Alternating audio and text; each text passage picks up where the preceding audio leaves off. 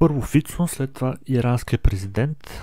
Мисля, че да говорим за луди поети, за лоши метеорологични условия, това е наивно. Предвид цялата ситуация, която се разиграва в геополитически план, изключително наивно е да смятаме, че това са причините. Сега, общото между двата случая на Фицо и на Раиси. Какво знаем? Знаем, че те не са долюбвани, не са харесвани от щатите, НАТО и ЕС.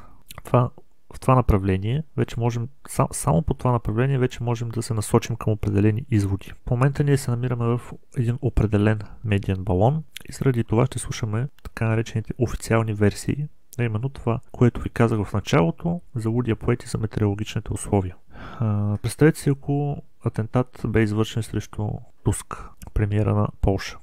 Тогава щяхме да слушаме от сутрин до вечер как Путин се е опитал да го убие или го е убил. Сега обаче няма нищо такова. Не можем да кажем, че Байден има някаква връзка с всичко това, поне не е официално, разбира се. Тално не се разглежда тази тема, слушаме само официалните, официалните версии. Двоен аршин по отношение на Израел, двоен, двоен аршин тук по отношение на тези атентати. И то, виждате, двата атентата в период са се, се случват. Сега конкретно за Фицо, Роберт Фицо, той управлява за четвърти път страната. Изключително опитен, ползващ се с, с доверие в Словакия. На последните президентски избори в Словакия спечели кандидатът издигнат от неговата партия, което означава, че СМЕР, партията на Фицо, ще има контрол и върху президентската институция.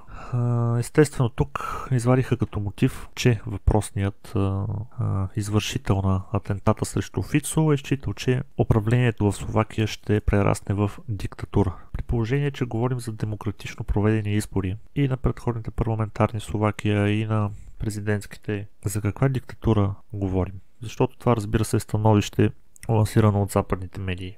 Да се говори, че евентуално едно управление може да премине в диктатура, това е възможно при всяко правителство. Ние можем ли да знаем как и кога може някъде да има диктатура? От друга страна, самата диктатура случва се тя да бъде плод на общественото настроение. В историята има такива случаи, където самите народи, заради това, че гласуват прекалено голямо доверие на своя лидер, превръща страната си в диктатура. Отново месене в вътрешните работи на една уж суверенна страна.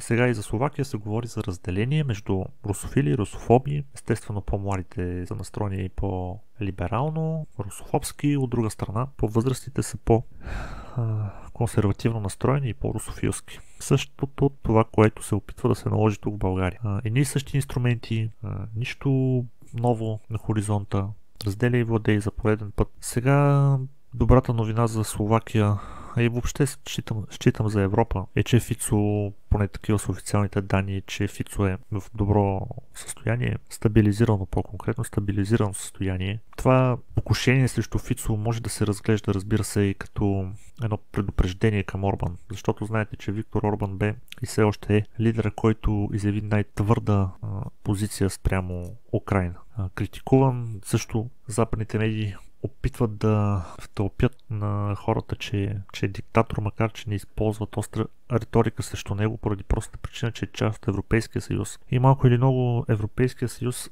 рис, рискува да се самодискредитира, ако обвини един от своите членове, именно Унгария за диктаторска държава. И така ще подкопае реномето си на великата и невероятна, и невероятна демокрация, видите ли, която налага. И всичките свободи, и всичките, каквото си пожелаете, полза на свободната воля.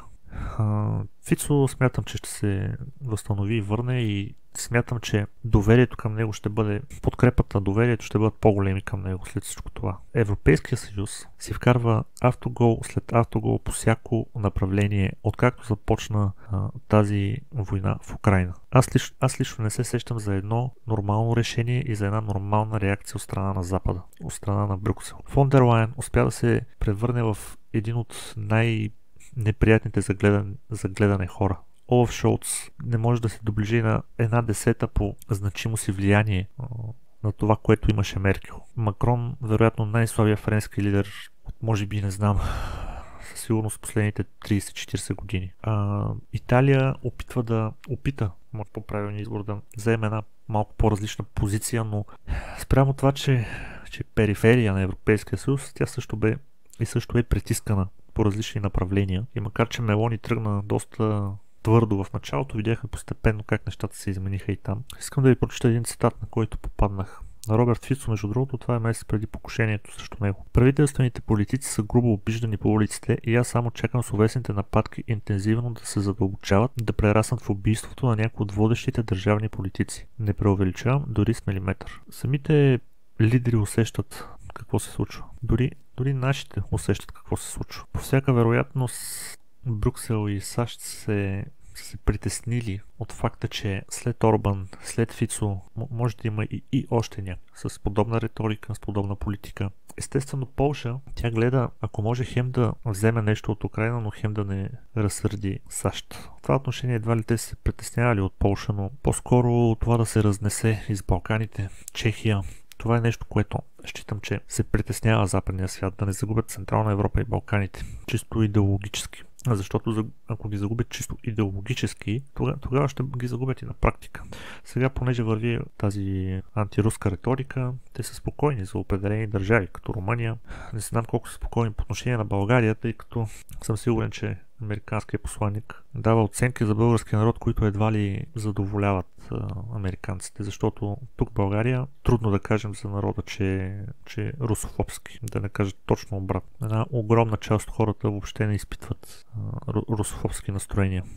Сега ще бъде интересно отношението към Словакия от Брюксел. Как ще продължат да подхождат. Ще бъде интересно да видим самата Словакия дали няма да, да се пречупи по някакъв начин относно отношението и към Украина. Знаете, че това е все пак държава граничеща на Украина и това е единственото важно в случая. Съединените щати не разглеждат Европа в детайли, както ние го правим. Това може да бъдете убедени.